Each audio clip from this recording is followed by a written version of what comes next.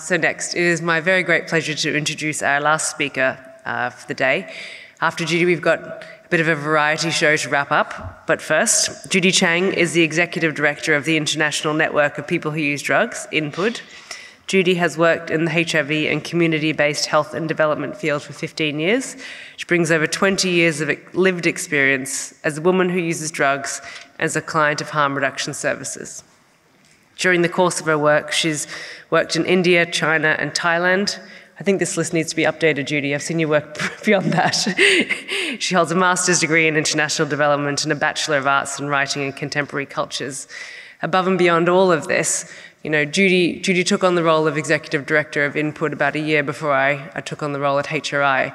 And I've watched her with absolute awe, like break open doors, take seats of power, and really bring the community voice to places it's never been before. So I am so excited to have Judy here to close our closing ceremony.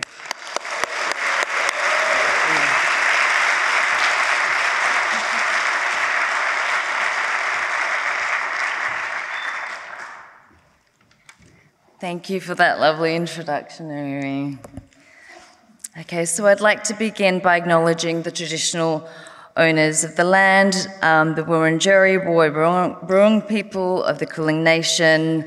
Sovereignty has never been ceded. It always was and always will be Aboriginal land. So it was actually in 2019 I was asked to do the closing ceremony um, in Porto, and I was not, unfortunately, I was not able to attend, but it does feel very serendipitous um, because it meant I could do the closing ceremony this time, and I find myself in Australia, which is the country that I grew up in. So thank you, Harm Reduction International, for inviting me. So the brief that we got as panelists was to be forward-looking, um, but I do feel compelled, being in Australia, um, to do some looking back and also some digging into, well, some of my personal, um, some of my personal experiences. So as Naomi mentioned, I've been in the position uh, of executive director of INPUD for six years but I don't really, um, I don't often or speak too often about my personal experiences or really, you know, dig deep. Um, you know, partly that could be to do with entrenched internalized stigma, but also, you know, one of the reasons is because I think that our role as drug user advocates is, you know, should not only be limited to telling our personal stories, and, you know, we don't want to be reduced to trauma porn.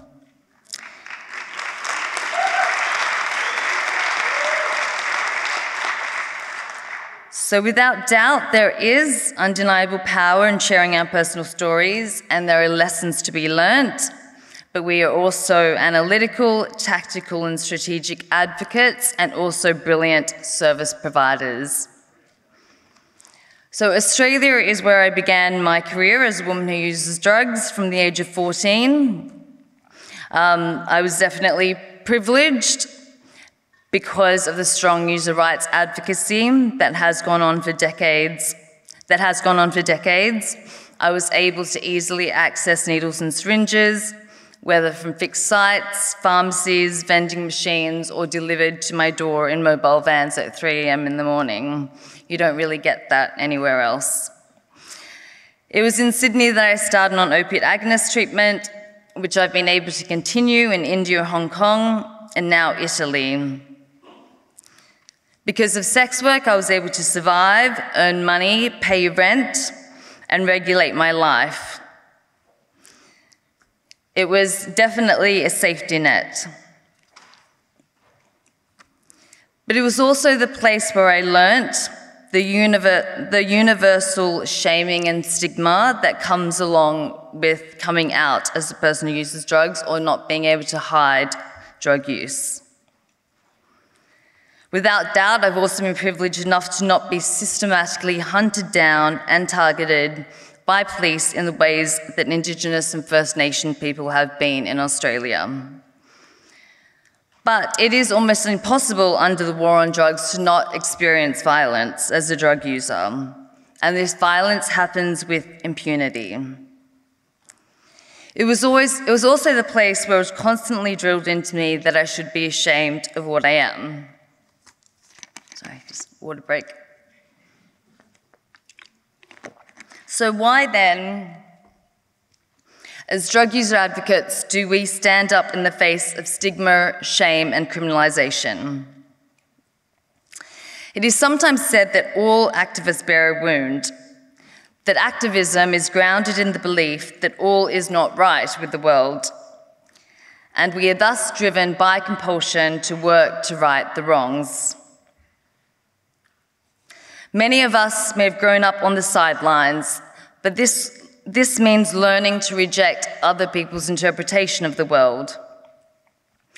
Being a first generation migrant, I already understood marginalization and felt the silent rootlessness and emptiness of unbelonging that many of us, um, many of us do, but especially black, indigenous, people of color, gay, and non-binary. And this means we've had to develop basic survival tactics early on in life. I grew up as a ward of the state, and from the age of 12, spent my adolescence in refuges and care homes attending a selective school in Sydney, so spending, spending my days with um, a group of young women and that were told that we could achieve anything in life. But in the evenings, you know, then I was back in care homes and refuges and living with, you know, a group of youth who had experienced abandonment, abuse, and, you know, there's rarely this talk um, about, you know, futures. So the reason I speak about this is because, you know, some of the lessons that I learned from this, and I had to learn it early on, that there definitely is no equal playing field. That our whole lives are arbitrarily shaped by laws and policies and application of those laws and policies. And these expand and contract our horizon of possibilities and affect how we feel about ourselves. So the war on drugs is the biggest most entrenched policy failure of our time, with many vested interests that keep that system going, creating so much harm around the world, especially impacting black, indigenous, people of color, poor, sex workers, and migrants, amongst other oppressed people.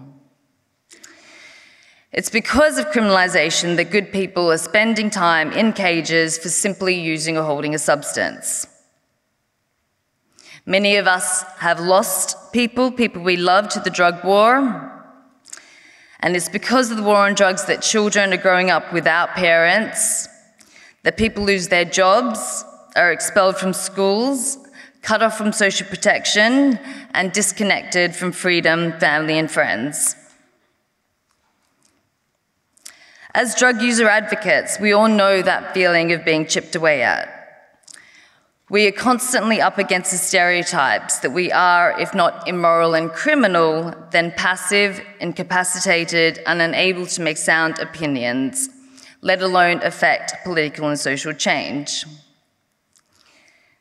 In looking forwards and envisioning a future, we must not be satisfied with superficial tinkering but expose the script of the war on drugs and change the way people who use drugs are perceived and how we see and talk about drug use itself.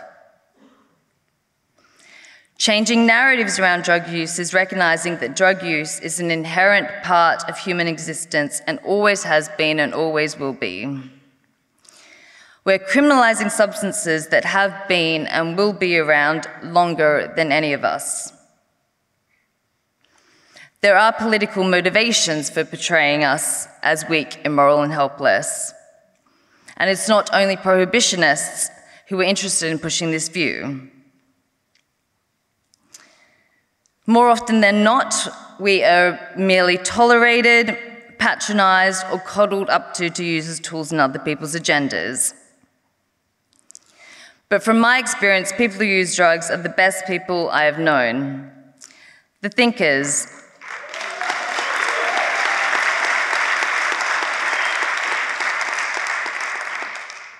The thinkers, the misfits, the pleasure seeking, the funny and fun loving, the adventurous risk takers. And what does it say about our society that we punish the risk takers? when it, all, when it has always been the risk takers who drive the engines of social progress, who experiment, who refuse societal norms and break new ground, whether in music, art, science, economics, politics, and literature. It should come as no surprise that it is the most authoritarian governments that are hell bent on punishing difference, in denying services and basic treatment, and taking away people's freedoms. So, in fighting back, we must not be content with piecemeal reforms or trade offs that substitute one oppressive system for another, but fight for a complete overhaul.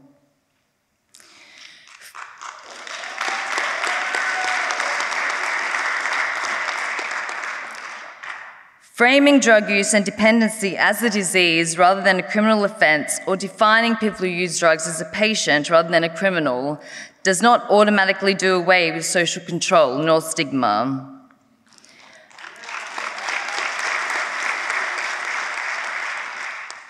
We're simply swapping one type of oppression with another, moralizing with another, pathologizing. And these are not binary opposites. Prohibitionist imperatives bleed into health systems and responses all the time.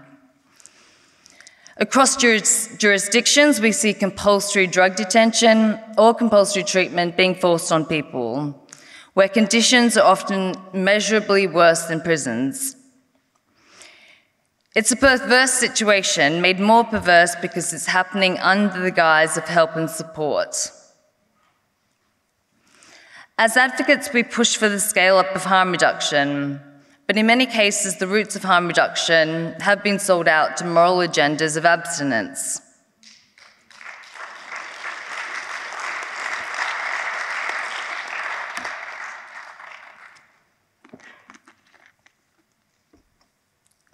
So, most of the time in harm reduction programs, you know, we see the primary indicator success being whether people continue to use drugs or not.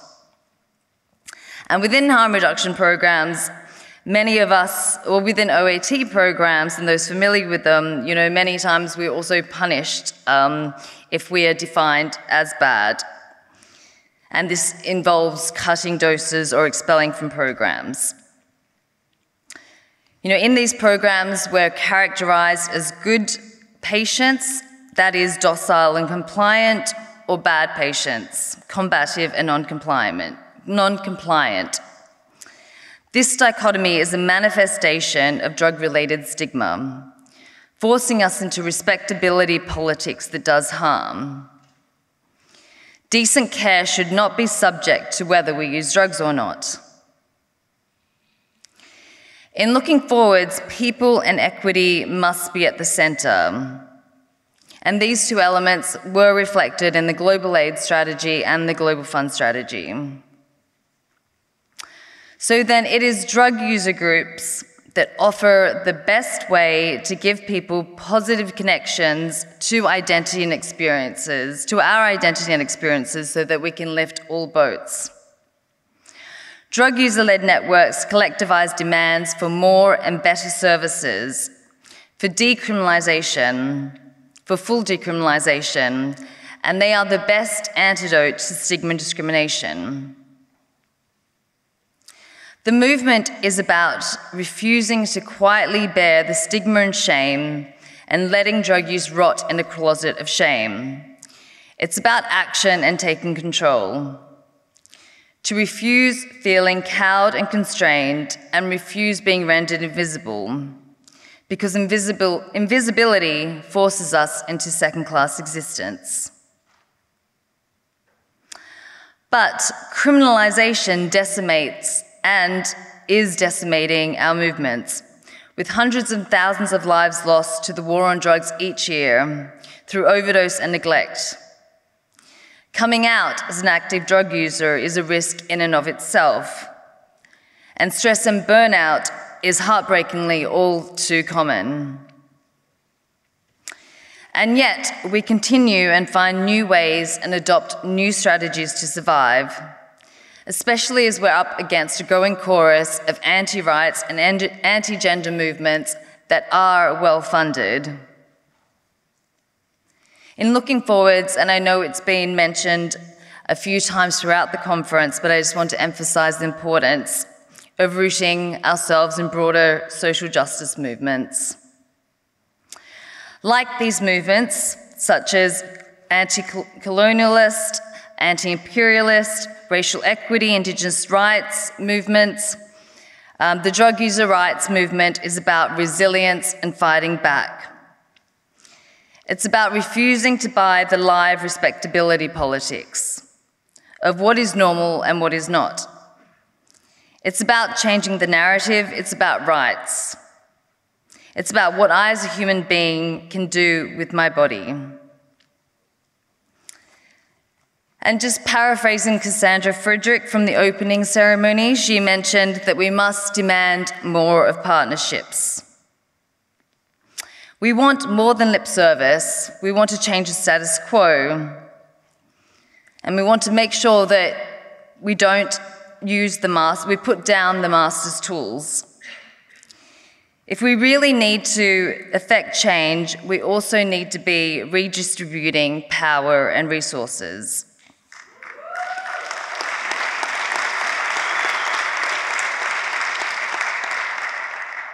We need donors to step up and stop stigma from affecting funding decisions.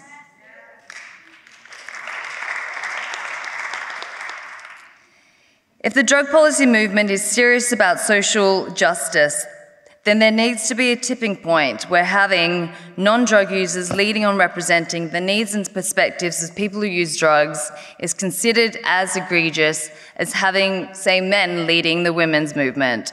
And what?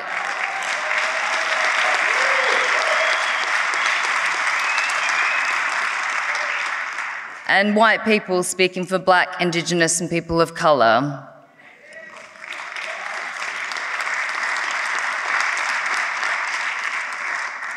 We can't be committed to decolonisation without decentering, and that means for people, organisations, and governments. Surviving prohibition and still fighting should not be taken for granted. Still fighting, and surviving should not be taken for granted.